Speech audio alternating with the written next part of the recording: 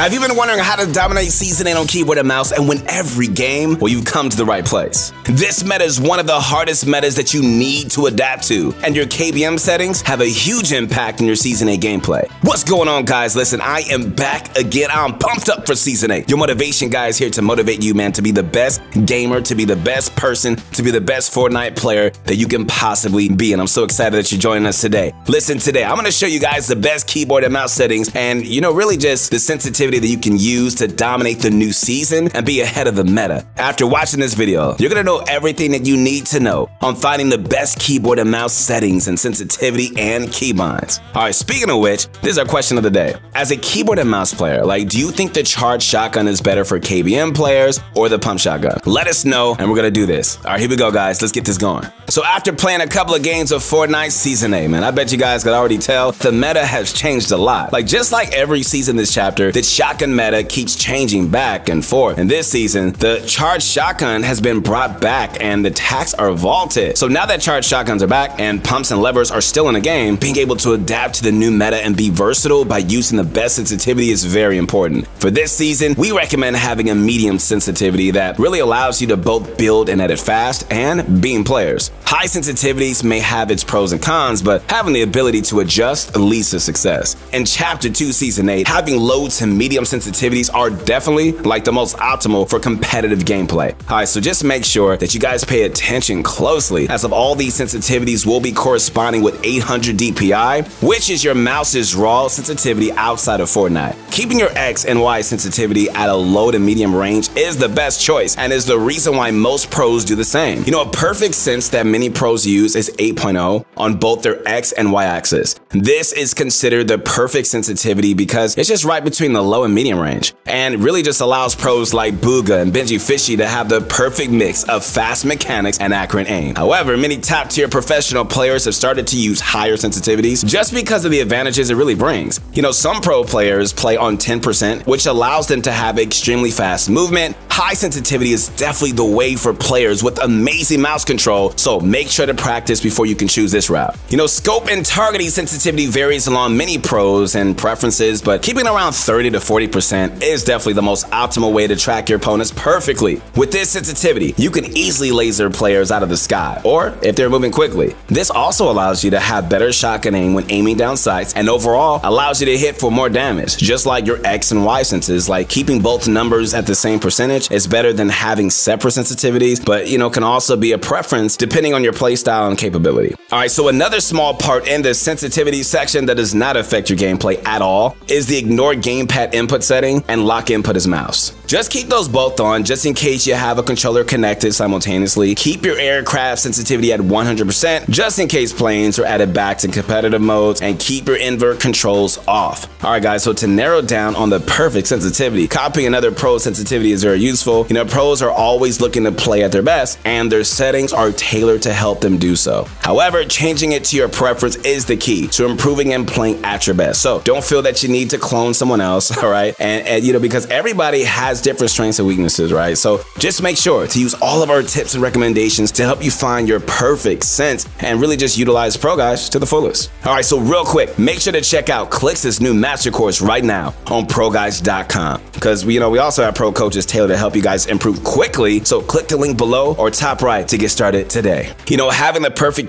keybinds is extremely confusing to players when they first start playing on keyboard and mouse. A huge mistake a lot of players make is using keybinds that are close to each other rather than keybinds that are fully optimal. You know, when having keybinds that are very close to each other, you know, it's most likely that you're gonna have to use the same finger to press all of them. This may seem easy, but it's definitely gonna limit the way you edit and your movement while building. And so to have the perfect keybinds, you gotta use keybinds, man, that allow you to move around and build at the same time, right? Like this allows your mechanical skill to be at its fullest and really make sure that you're never gonna have to lose momentum when engaging in a build heavy fight. So as of now, like the best way to have optimal keybinds is by putting your wall and your ramp on your side mouse buttons. This allows allows you to have more space on your keyboard and really helps your fingers move across your keyboard smoothly. The reason most pros put their wall and ramp on their mouse button is because this allows you to move around, to jump, to crouch, and to pull out your pickaxe while building. So depending on your edit bind, put your floor to C or F and your cone to left shift. Along with this, changing your edit bind to E or F is definitely the move as they are easily reachable. So put your trap bind to T as it is the closest bind right next to your reload. Along with this, change your ping bind to X as you still have an extra bind left to use. And so after just playing a couple hours on these binds, you could definitely notice a huge difference in how easily you can build, strafe, and edit simultaneously. Your weapon keybinds don't usually affect you too much, but always just try to switch off the number keys. Like after copying down these binds, you're gonna have many keybinds that you can still use. Like normal, like keeping your pickaxe bound at one is fine, and you can choose to use two, three, four, and five for your next slots. However, you still have a lot of extra keybinds, so put your last slot at V and your fourth slot at G. And this allows you to press every bind efficiently and it helps you arrange your weapons in any way of importance that you want.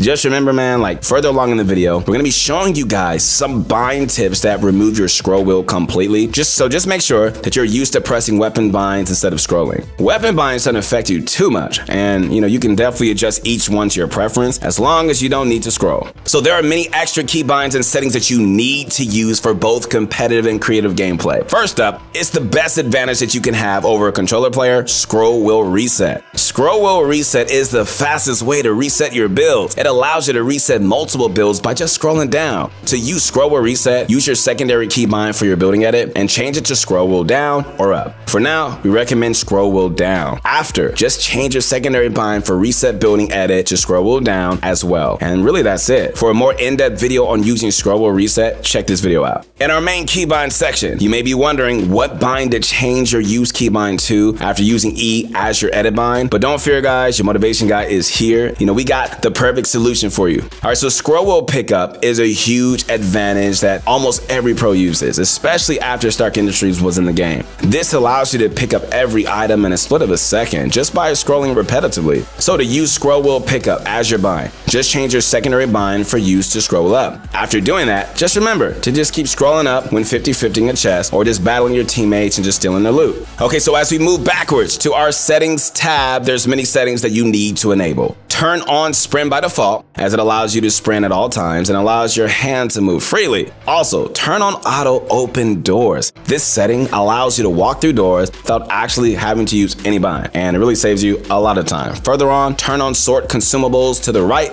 but, you know, just make sure that you're used to putting all your consumables on the right side of your inventory slots. As soon as you pick up a consumable, they automatically get sorted to the right most side, which saves you a lot of time. Okay, so another setting that you should try to use is confirm edit on release. This setting is fully a preference and it can really just mess with your crosshair placement if used incorrectly. Edit on release saves you time, and so uh, it can also be tricky to fully learn at first. Lastly, make sure that you disable your pre-edits as this can really mess you up a lot while fighting. Alright guys, so to recap this video, remember to copy down these settings and practice with them. I'm telling you, learning the new season is going to be absolutely easy with your new binds and just make sure that you fully adapt to them. Never get demotivated, I'm telling you, just know that after fully learning these settings, you're going to be at the top of the Season 8 leaderboards. Our settings, tips, and tricks will leave your opponents in the dust and allows you to dominate without your opponent standing a single chance. If you're still having trouble getting used to these binds, just make sure to remember that everybody starts at some point. You know, these optimal binds, just make sure that you play to your fullest and, you know, after mastering these binds, you're gonna end up playing infinitely better. Speaking of which, you can always check out the rest of our channel for more tips and tricks. And if you guys like the video, make sure to sub to the channel. Once again, do not fear, your motivation guy is here. And, uh, you know, connect with my Instagram at your motivation guy. I just love saying your motivation guy over and over again. But anyways, man, keep going. Never quit, never surrender. No matter how many trials are in your way, no matter, you know, how many walls, no matter how many burdens you're carrying, no matter what's going on in your mind or what's going on in your life, I'm telling you, you can do it. Believe in yourself or nobody will. Love you guys. I am your biggest fan. So don't let me down. Don't quit. Keep going. I'll see you on the next one. Peace.